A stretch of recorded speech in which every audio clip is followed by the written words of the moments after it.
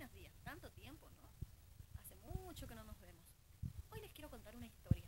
Algo que pasó hace muchísimos años, cuando ni vos ni yo nacíamos aún.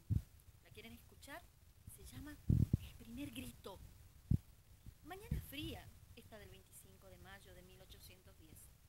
Hace una semana que ya venimos preparándonos. Nos reunimos, hablamos, nos escuchamos, nos miramos cada vez se más fuerte en el pecho una sensación, tanto así que lo oprime y la tenemos que dejar salir. Las damas presurosas se alistan de gala para asistir a la plaza. Llevan coquetas sus peinetas y sus hermosos vestidos con cintas y moños. Los caballeros de frac y galera acompañan también. ¡Ay! ¿Saben quiénes están también?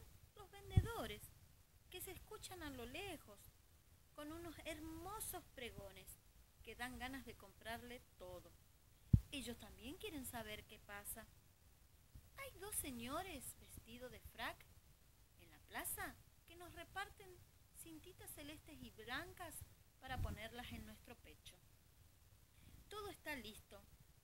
En esta mañana, desde los balcones del cabildo, podemos ver que muchas, muchas personas están esperando saber qué pasa o qué es lo que está pasando allí adentro. Nos cuesta un poco, pero al final nos ponemos de acuerdo.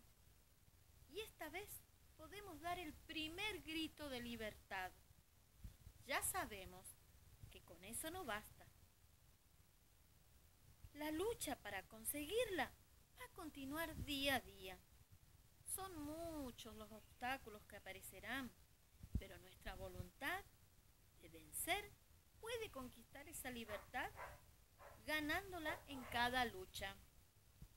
Hoy 25 de mayo del 2020, la mañana está fría, pero el sol asoma radiante y cada rincón de esta patria se ilumina Con fuerza, que viva la patria, que viva mi Argentina. Viva la patria, que viva mi Argentina.